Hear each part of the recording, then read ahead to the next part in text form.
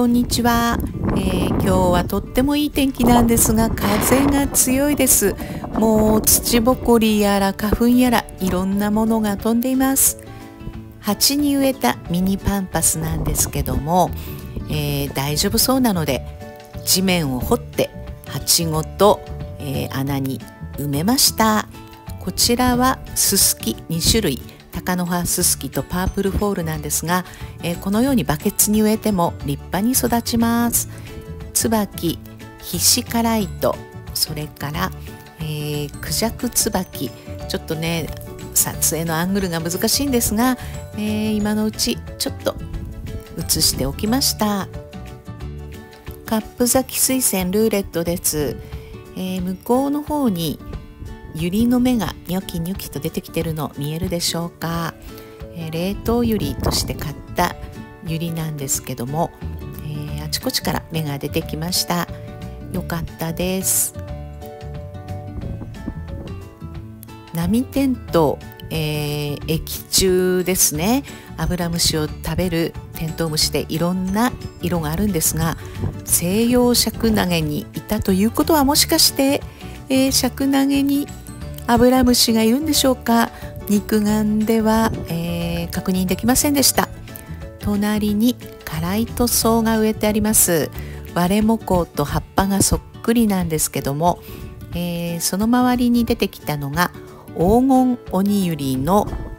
葉っぱ芽ですね。こちらはバルビネラ、えー、結構葉っぱが立派なんですよね。これは一度も株分けしたことがないので、えー、まだバルビネラに関しては初心者マークということですね。モダンアート、えー、豪華な水仙ですね。頭が重いのでちょっと下を向いています。モーツァルトはいつも半熟卵と言っていますがちょっとゆで卵から目玉焼きっぽくなってきたところですね、えー、モーツァルトとモダンアートちょっと似ていますね。ピピッと、えー、たくさん花が咲きました、えー、色の変わってきたのわかるでしょうか？ちょっとクリーム色というか白が入ってきましたね。20番目の水仙。房咲水仙ゼラニウム、えー、去年までゲラニウムだと思ってたんですがゼの方が正しいみたいですね。大手まりの下なんですけども、えー、だいぶ様子が変わってきました。クリスマスローズまだ咲いていますが、えー、カラーリーフヒューケラのキャラメルやそれからギボウシ、えー、そしてれはアスチルベの芽が出てきましたね。このギボウシとっても丈夫なのであちこちに植えてあります、えー、イエローカサブランカなんですが実は去年大失敗をしました。何年間も、えー、球根をそのままにしておいたらば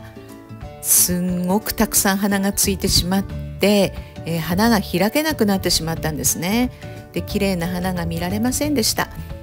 秋に掘り上げて、えー、あちこちに適当に植えてみたんですがなぜかビオラの花が